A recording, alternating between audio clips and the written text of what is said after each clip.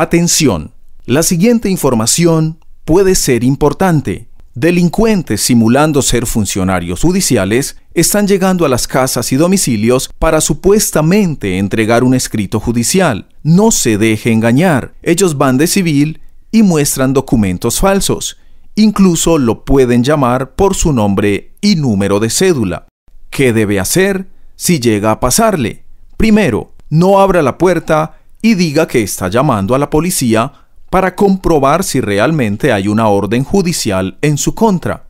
Segundo, marque inmediatamente al 123 o al 165 del Gaula. Tercero, avise a un familiar, amigo o vecino.